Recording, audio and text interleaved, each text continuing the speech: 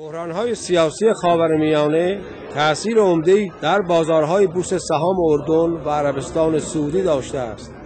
بازار بورس اردن برای سومین هفته متوالی شاهد کاهش ارزش سهام بود که چنین افتی در چند دهه گذشته بی سابقه بوده است.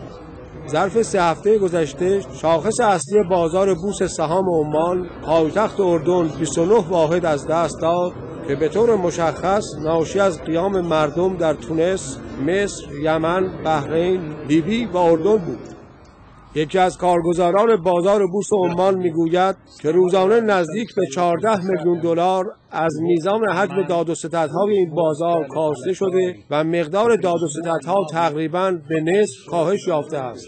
و یکی از سرمایه گذاران از بیثباتی، عدم شفافیت و وخیمتر شدن شرایط سخن گفت.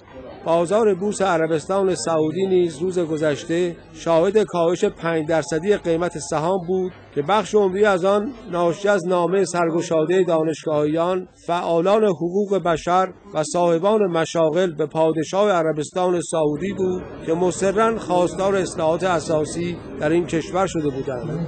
و این در حالی است که بحرانهای سیاسی خاورمیانه و شمال آفریقا قیمت نفت را به شدت بالا برده است. در آغاز داد و ستدهای روز دوشنبه بر قیمت نفت برنت در بازارهای نفتی آسیا و اروپا افزوده شد و هر بشکه به قیمت 114 دلار و 50 سنت داد و ستد شد. در بازار نفتی نیویورک نیز قیمت نفت یک سنت بالا رفت و هر بشکه به مبلغ 97 دلار و 89 سنت معامله شد.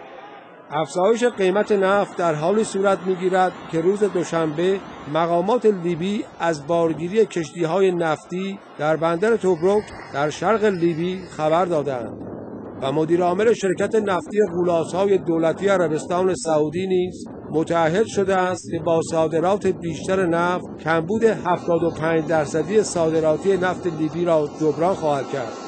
بسیار از اقتصاددانان اعتقاد دارند که بحرانهای سیاسی خاورمیانه و شمال آفریقا تأثیری منفی در کشورهای بزرگ صنعتی از جمله آمریکا خواهد داشت.